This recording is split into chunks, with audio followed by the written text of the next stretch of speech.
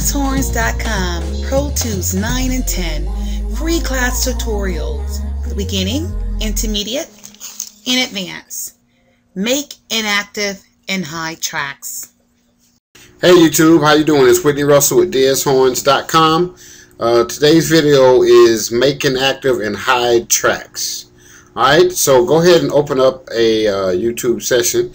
I already have one open up here. I'm going to show you what that means. Now the reason why you want to hide your tracks is, let's say um, I'm just want to record in the blues, which is my audio one, two, three, and 4. I don't want to deal with none of these. I already recorded them, done them, they already done.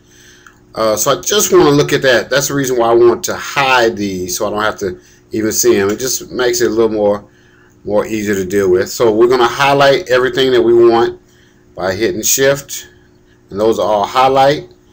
We're going to hit your right click button and we have here hide which means you're going to still hear the tracks but they uh, but you won't see them.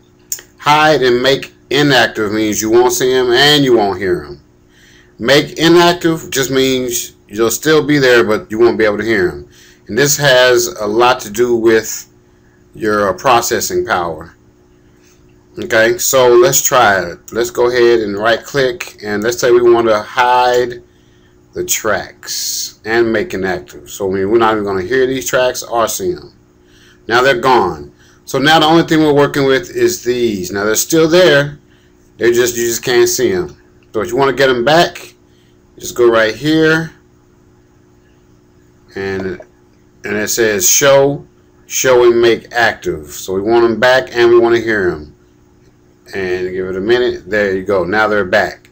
Same thing with if you want to go up here and now you say, I don't know, for some reason you just, you don't want to um, hear them, but you still want to see them. You, you still want them there. So you can make them inactive and it'll be kind of a shady gray like that, which means they're still there.